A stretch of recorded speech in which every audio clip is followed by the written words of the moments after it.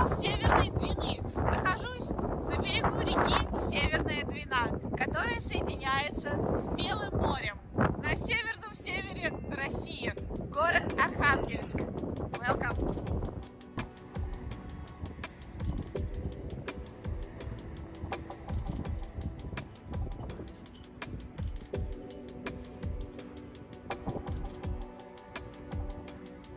Наряду с современными зданиями в Архангельске встречаются и вот такие вот экземпляры. Сейчас это военный комиссариат, но на картах это значится как а, часть монастыря. Архангельск неспроста считается очень важным городом и значимым для России. Здесь, смотрите, стоит монумент, а, памятник доблестным защитникам Советского Севера. Очень много событий было связано с этим местом, с этим городом в российской истории.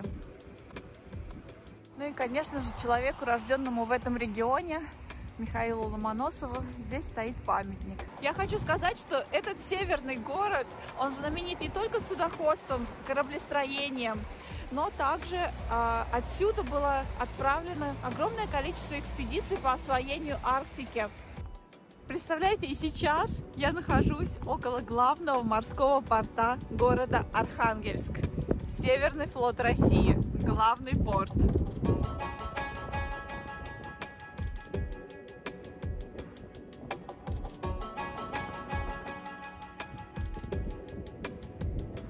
хотела сказать еще несколько слов о значимости данного города. Представляете, в 1693 году Петр I, Peter the First, он а, начал кораблестроение здесь. У меня даже замерз рот говорить. Кораблестроение было начато здесь, в Архангельске. Это был самый главный порт России, самый северный.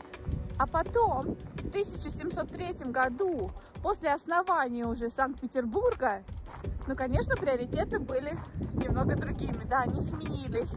И этот порт стал менее важным. Слушайте, вот здесь так холодно. Я бы, знаете, сказала, я попала в не очень такую холодную погоду. Здесь всего маленький минус, немного градусов. Но ветер, ветер сильный. И воспринимается как будто очень холодно скользко, видите, почти падаю. В общем, надо, надо аккуратнее. Слушайте, невозможно не зайти, не погреться при таком морозе. Вижу кулинарию, кафе. Кушать подано.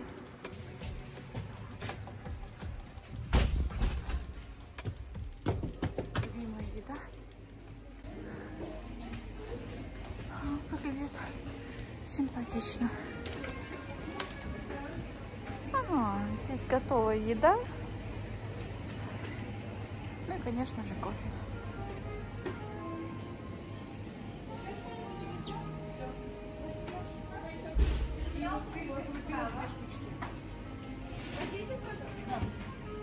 Смотрите, какое меню на советский манер. Горячие напитки, hot drinks. Так. И здесь, конечно же, продаются козули фигурные, да, местные прянички, которые можно купить. Смотрите, у нас на обед здесь есть супы, солянка, борщ, щи. Слушайте, на самом деле в реалиях русского севера я вынуждена купить шерстяные носки и переодеться.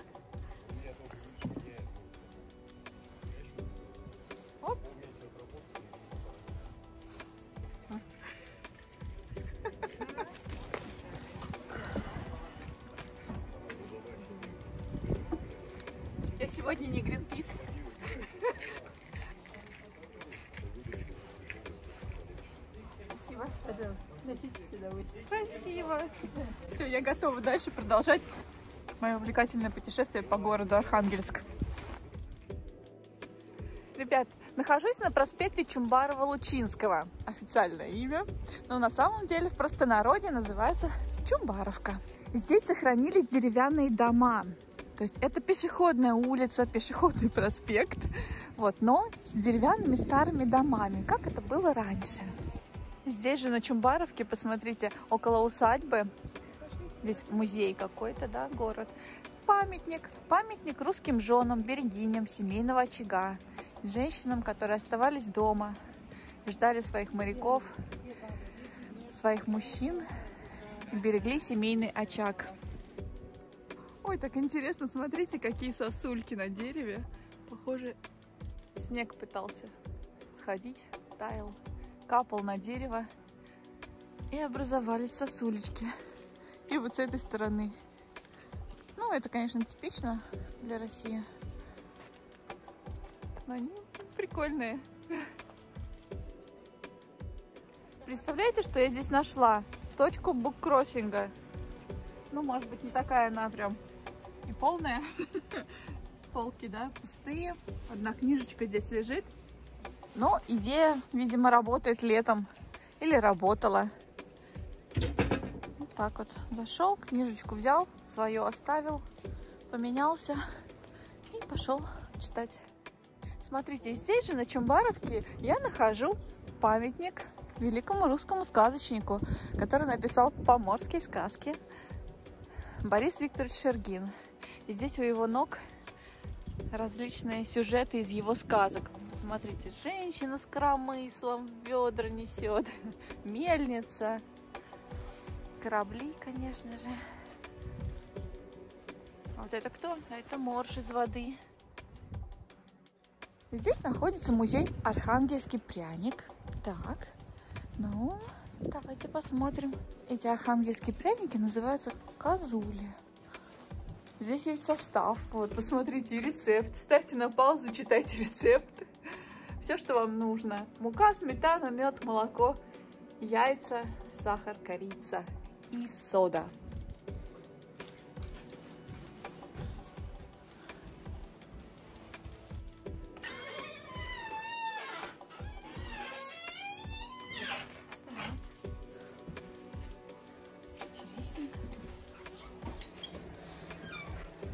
Здравствуйте, можно к вам? Ну вот, да, вот тут результаты всех ремесленных работ. И резьба, и роспись. А, вот они, козули. Ангельские пряники козули. Здесь среднего размера, есть еще маленькие. Поменьше, да? Побольше. Есть совсем большие. Корзинка. О, ну это да, они прям подарочные. Рыбки, треска, палтус, треска. О, отлично. Слушайте, я выбрала набор с пряничками козулями. Треска, палтус и треска. Слушайте, я тут узнала секрет. В общем, существуют литовские медо- медовые пряники, да? Существуют тыквенные пряники, существуют архангельские пряники козули. И самый главный компонент, почему они, собственно, такие коричневые и имеют специфический вкус, это сжженный сахар, то бишь карамелька. Сейчас попробуем. На самом деле нужно отметить, что настоящие козули это э, пряники с росписью, где видна вот эта вот коричневая часть пряника. То есть более такая изысканная, да, более витиеватая. А вот когда, то есть это настоящие козули. А вот когда пряник покрывается полностью, да, глазурью, ну, это просто пряник. Это уже нетипично для данного места.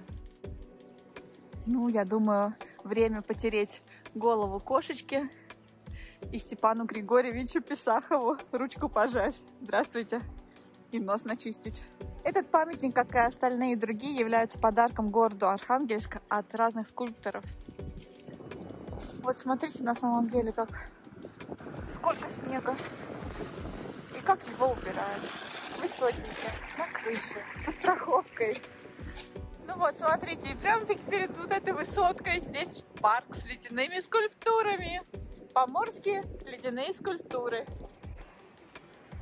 Ну и рядом с поморской Снегурочкой я вам расскажу историю, что существует спор, что Father Frost, да, Дед Мороз, давайте подойдем и к нему тоже, был родом из Архангельска. Существует такая теория. Вот А вот так мы посыпаем песочком, чтобы люди не скользили по дороге. Ну, собственно, и делаем бардак, да, устраиваем грязь. Но все-таки способ не скользить.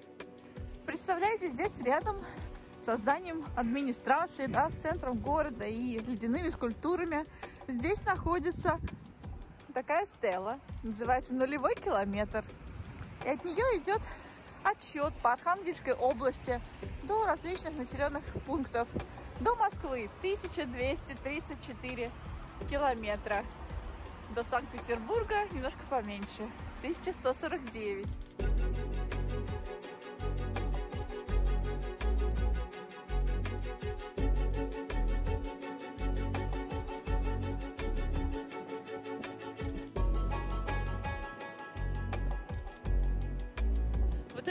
Памятник был установлен в честь 400-летия Лоцманской службы. То есть в 1613 году да, была основана Лоцманская служба России. И в, 1000, ой, нет, в 2013 да, в 2013, 400 лет спустя, установили вот этот монумент в честь данной службы. На всех делах служения моего иметь в уме и помышлении не свои личные выгоды, но честь российского флага и пользу морской службе. Вот так. Слушайте, ну а чтобы понять, насколько здесь прохладненько, и что мы на северном севере России, посмотрите на лапки вот этой собачки. Малыш идет в тапочках, какой хорошенький, в валеночках. Ух, ветер, конечно, отличный. Такой прям постоянный, суровый и холодный. Ну, я думаю, вы видите все по моей прическе.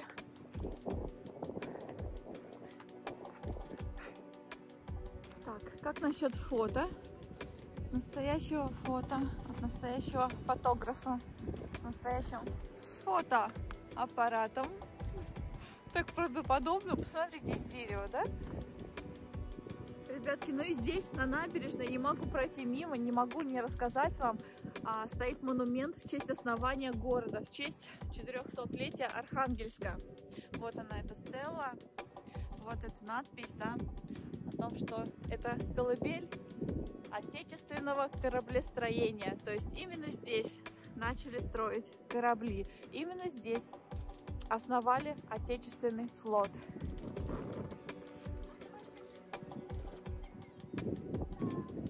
Участникам северных конвоев монумент, даже цветы лежат.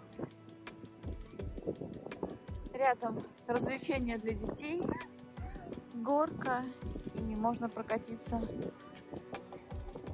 а, на снегоходе, да, за снегоходом.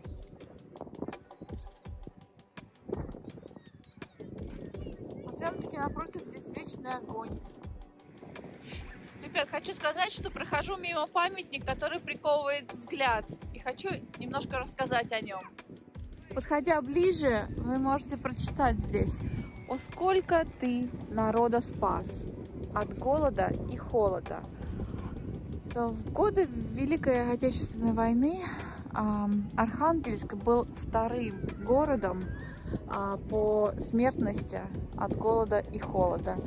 И а, люди добывали шкуры, да, питались мясом этого животного, тюленя.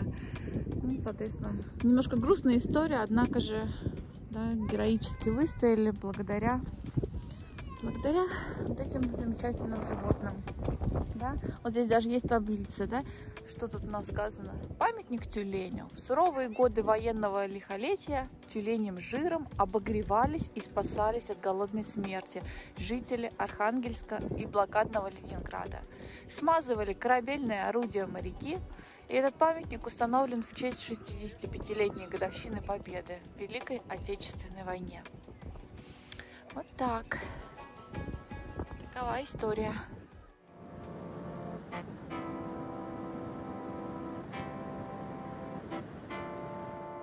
Все это дополнено обученным автоматом. Я думаю, что очень готово.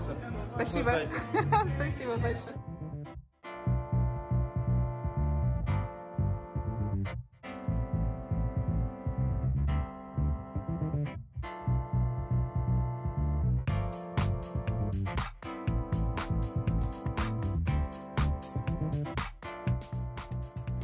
I'll choose that one.